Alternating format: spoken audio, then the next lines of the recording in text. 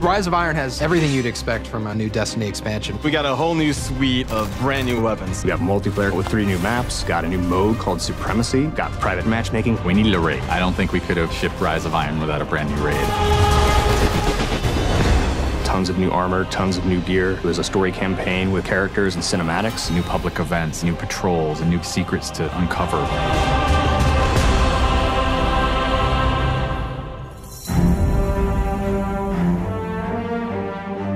Rise of Iron is about looking at this story that's existed in the Destiny universe, this character, Lord Saladin. I am the lone sentry, and my watch is eternal. It's this journey to understand the past, what happened to these great heroes. The Iron Lords are gone, but our fight is far from over. And through that process, you're saving humanity, you're becoming an Iron Lord yourself, you're getting to wield a giant axe.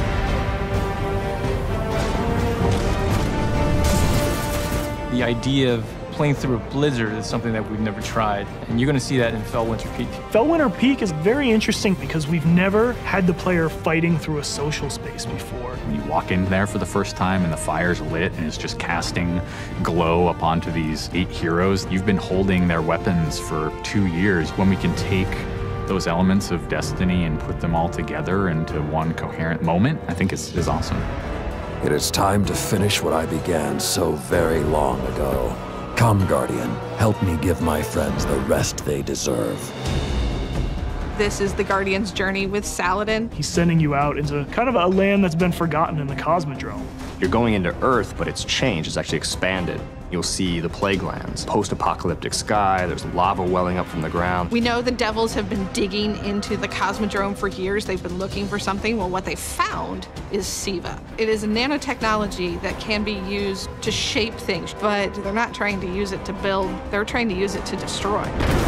They've started mutating their bodies, turning themselves into giant monsters, transforming the landscape, even of the Cosmodrome, into this horrible, burning fortress world. Hell's loose in old Russia.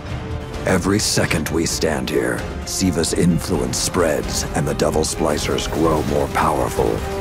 Keep fighting, Guardian.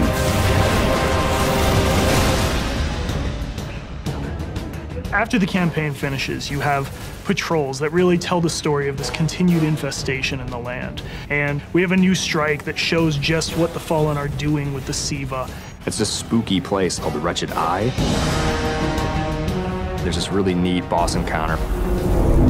A fallen captain has plucked an eye out of an ogre, affixed it to his weapon, and he's using that to sort of tase you out of your rat hole while this blind ogre just walks around trying to crush you.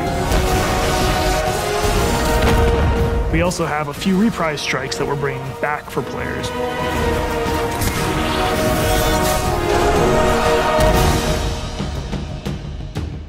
We very consciously set out to create a journey.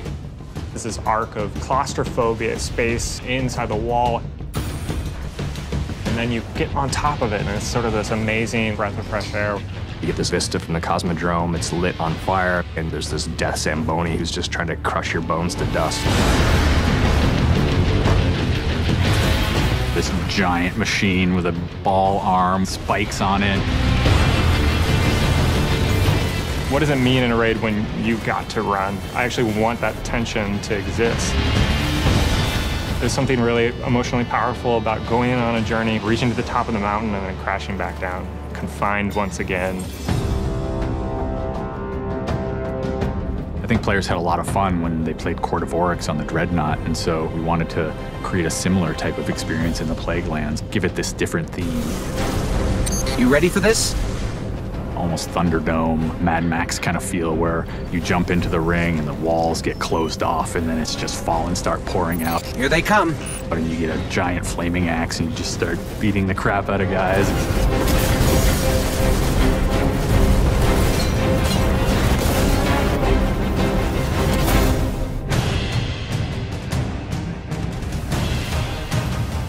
We thought, how can we increase the ways that you express the way you like to play?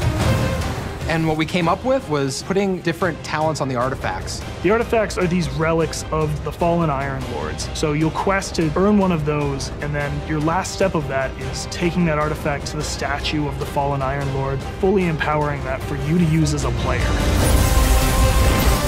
Whether it's negating all the dot damage in the Crucible, or whether it's infinite sprint, or turning Fallen onto your side. Which is really, really cool, by the way.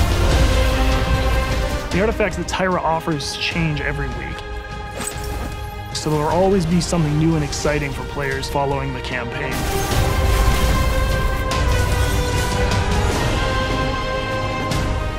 When you put snow, everyone thinks of pelts and cloaks and hoods. Wouldn't be a knight's tale without a knight's armor.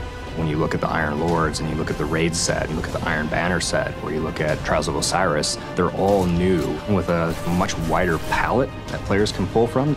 And when you throw ornaments on top of all that, we're going to see a lot more variety in gear. So the ornament system is this really cool thing that lets you take some of your favorite pieces of gear and then you customize this weapon the way you want it to be. You got your raid weapons, we got your Iron Banner, we got new exotics, old exotics. You like sidearms? We got we got all the sidearms this time around. Gjallarhorn, enough said.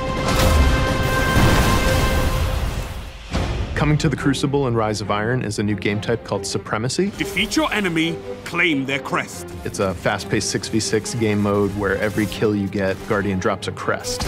Picking up the crest gives you points. Their glory goes to you, Guardian.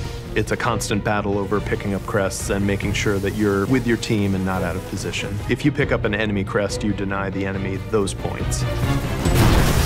Excellent recovery. We have new maps. We always have new maps. There's Last Exit, lots of twists and turns, lots of really good close combat. Then there's Skyline, a Clovis Bray headquarters building on Mars. It's a symmetrical, large map. The last one is Floating Gardens, which is an open map. One thing we're really excited about in Rise of Iron is the introduction of private matches.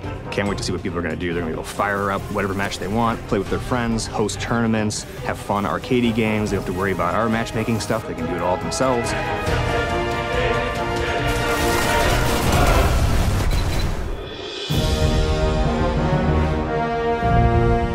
Sometimes when I play and I have headphones on and I'm in that world, I, I, get little chills because it's not just the effects and the amazing graphics, it's the audio that helps reinforce the journey that you're going through.